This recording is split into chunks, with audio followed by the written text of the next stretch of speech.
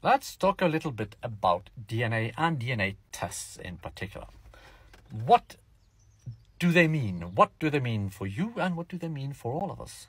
Well, let's find out. Well, the first thing it means when you give your DNA and pay a company to take your DNA is that you have paid some really sinister groups to take your DNA and possibly use it for very sinister purposes in the future. And they will be able to do that because guys like you gave them or even paid them to take your DNA. When you get the result of those tests, and for a sample, it says 90% Scandinavian, 10% English, and then most people will start to think, oh, really? So 10% of my forebears came from England and I'm 90% Scandinavian and so forth. But that's not what it says. It says that your DNA has the best match with the modern already mixed population from Scandinavia, 90%, and 10% with the modern already mixed population of England. Doesn't say anything about why your DNA matches so much, for example, the English. Could perfectly well have been some Norwegians who moved there, or of course it could have been some Norwegians who took some people from England with them back in the Viking Age. But the test doesn't tell you that. If you want to know what you are, and where you come from, you can take a mirror and you can look into it.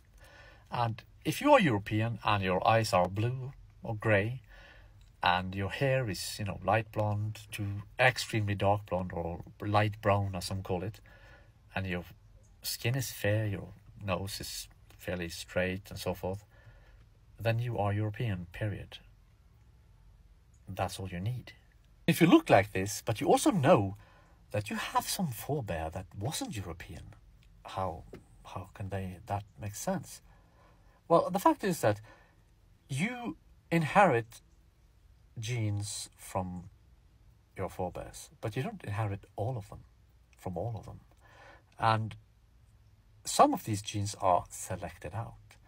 And if you look perfectly European today, even if you had some non-European far back in time, you still are European and perfectly European because those genes clearly have been selected out.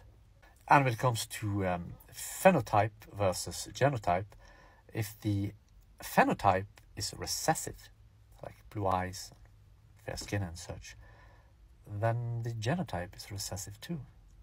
If you have genes for these non-European traits, then you would have looked non-European. It's very simple. And the other way around, if you have the phenotype of non with non-European features like brown eyes and black hair and such, you might still have an overwhelmingly European heritage. All of this is very complicated, but at the same time, it's pretty simple.